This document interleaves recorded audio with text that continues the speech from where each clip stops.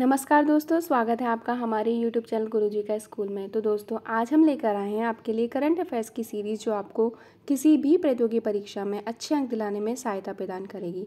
अगर आपको हमारी ये वीडियो अच्छी लगे तो इसे लाइक ज़रूर करें और साथ ही साथ हमारे चैनल को सब्सक्राइब करना ना भूलें। तो दोस्तों, ये है आज के प्रश्न। प्रश्न संख्या एक, एयरटेल अफ्रीका के अनुसार एयरटेल मोबाइल कॉमर्स में किस कंपनी द्वारा सौ मिलियन अमेरिकी डॉलर का निवेश किया जाएगा। तो दोस्तों, इसका सही उत्तर है मास्टर कार्ड मास्टर कार्ड द्वारा एयरटेल मोबाइल कॉमर्स में सौ मिलियन अमेरिकी डॉलर का निवेश किया जाएगा। प्रश्न संख्या दो। जियो ने जियो गेम्स ई प्लेटफॉर्म की शुरुआत की घोषणा करने के लिए किस कंपनी के साथ साझेदारी की है? तो दोस्तों, इसका सही उत्तर है क्वालिकॉम। क्वालिकॉम के साथ जियो गेम्स ई प्लेटफॉर्म की शुरुआत की घोषणा की गई है। प्रश्न संख्या तीन। कौन गूगल के, वायोमी के, सीईओ के पद से इस्तीफा दे रहे हैं? तो दोस्तों, इसका सही उत्तर है जॉन क्रैफिक। जॉन क्रैफिक वायोमी के, सीईओ के पद से इस्तीफा दे रहे हैं। प्रश्न संख्या चार, आईआईटी दिल्ली ने अपने कार्बन फुटप्रिंट में कितने प्रतिशत की कमी की है? तो दोस्तों, इसका सही उत्तर है पचास प्रतिशत। आईआईटी दिल्ली ने अपने कार्बन फुटप्रिंट में पचास प्रतिशत की कमी की है। प्रश्न संख्या पाँच tribal cooperative marketing development federation limited ने किसके सहयोग से दो प्रतियोगिताओं का आयोजन किया है? तो दोस्तों, इसका सही उत्तर है my G O V dot I N की सहायता से tribal cooperative marketing development federation limited ने दो प्रतियोगिताओं का आयोजन किया है। प्रश्न संख्या छः किस राज्य के राज्यपाल को 2021 के लिए कलिंग रत्न पुरस्कार से सम्मानित किया गया है। तो दोस्तों, इसका सही उत्तर है आंध्र प्रदेश। आंध्र प्रदेश के राज्यपाल को 2021 के लिए कलिंग रत्न पुरस्कार से सम्मानित किया गया है। प्रश्न संख्या सात 2023 पुरुषों की मुक्केबाजी विश्व चैंपियनशिप किस देश में आयोजित की जाएगी? तो दोस्तों, इसका सही उत्तर है उज्बेकिस्तान।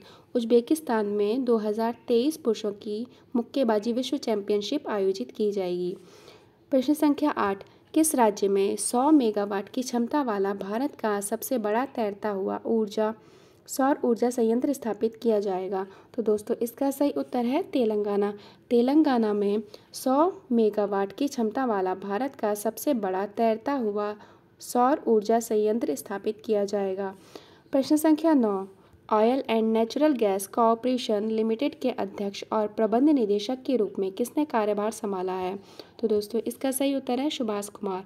सुभाष कुमार ने oil and natural gas corporation limited के अध्यक्ष और प्रबंध निदेशक के रूप में कार्यभार संभाला है। प्रश्न संख्या दस, जम्मू और कश्मीर ने वित्त वर्ष 2020-21 में जीएसटी राजस्व संग्रह में कितने प्रतिशत की वृद्धि की है? तो दोस्तों, इसका सही उत्तर है 2.94 जम्मू और कश्मीर ने वित्त वर्ष 2020-21 में जीएसटी राजस्व संग्रह में 2.94 की वृद्धि की है। प्रश्न संख्या 11 केंद्र सरकार द्वारा जल्द ही जारी किए जाने वाली unique land personal identification number system की आईडी में कितने अंक हैं? तो दोस्तों, इसका सही उत्तर है चौदह।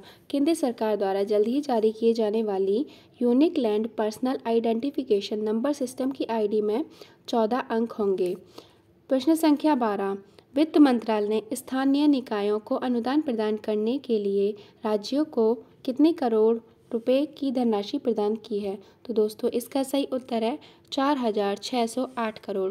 वित्त मंत्रालय ने स्थानीय निकायों को अनुदान प्रदान करने के लिए राज्यों को चार हज़ार छः सौ आठ करोड़ रुपए की धनराशि प्रदान की है।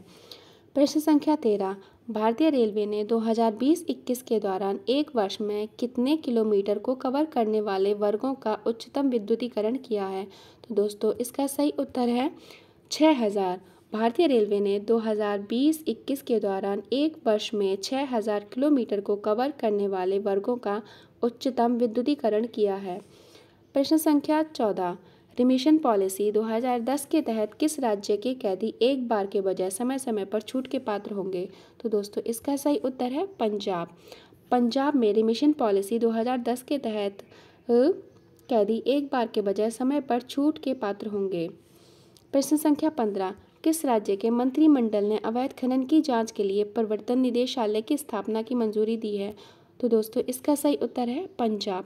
पंजाब के मंत्रिमंडल ने अवैध खनन की जाँच के लिए प्रवर्तन निदेशालय की स्थापना की मंजूरी दी है। तो दोस्तों, आज के प्रश्नों की श्रृंखला यहीं समाप्त होती है। अगर आपको हमारी ये वीडियो अच्छी लगे तो इसे अन्य लोगों के साथ ज़रूर शेयर करें। धन्यवाद।